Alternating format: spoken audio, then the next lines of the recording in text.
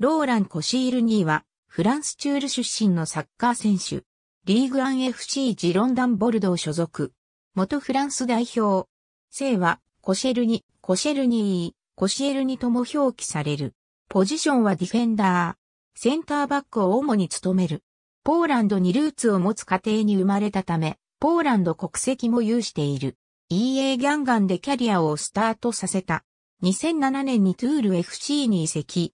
2008から2009シーズンには34試合に出場し5ゴールを挙げ、リーグ2のベストイレブンに選ばれている。オリビエ・ジルーとは当時からチームメイトだった。その活躍からリーグワンのクラブに関心を持たれるようになり、2009年6月14日に FC ロリアンへ移籍金150万ユーロの4年契約で移籍した。2010年、プレミアリーグのアーセナル FC へ移籍した。移籍当初は細かいミスが目立って厳しい見方もあり、負傷中だったトーマス・フェルメーレンの穴を埋めるには至らなかった。それでも移籍1年目ながらフェルマーレンの負傷もあって、なかなか固定されなかったセンターバック陣の中では最多となる30試合に出場。同じく新加入で同胞のセバスティアン・スキラシや、生え抜きのヨハン・ジュルーを上回った。それ以降は徐々にプレーが改善し、2011から12シーズンにはチームのプレイヤーオブザシーズン投票で第4位に入り、チームで最も成長したプレイヤーと評価された。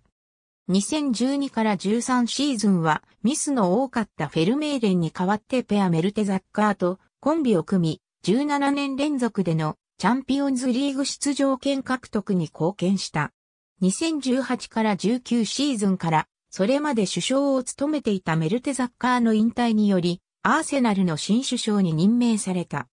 2019年7月11日、2019から20シーズンのプレシーズンツアーへの帯同を拒否し、アーセナルが公式に遺憾の意を示す異例の声明文を出した。2019年8月6日、FC ジロンダンボルドーに移籍することが発表された。ポーランド代表の資格も持っていたが、本人はフランス代表を目指すと表明していた。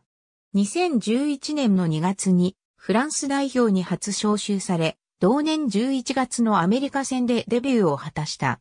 ユーロ2012の代表にも選出され、フィリップ・メクセスが出場停止となった準々決勝のスペイン戦にフル出場した。2016年6月4日のスコットランドとの親善試合で代表初得点を挙げた。2018年5月4日、2018FIFA ワールドカップをアキレス腱負傷により欠場することがフランスサッカー連盟から発表された。2018年10月14日、フランス代表の引退を表明した。その際に、ディディエ・デシャン代表監督と現役代表選手に対して不満の意をあらわにした。コシェルニーは今年5月に行われた L 準決勝セカンドレグのアトレティコ・マドリード戦で負傷。アキレス腱を痛め手術を行い、約6ヶ月の長期離脱と診断されていた。そのため、今夏のワールドカップロシア大会も欠場。フランス代表の優勝を横目にリハビリに励んでいた。ありがとうございます。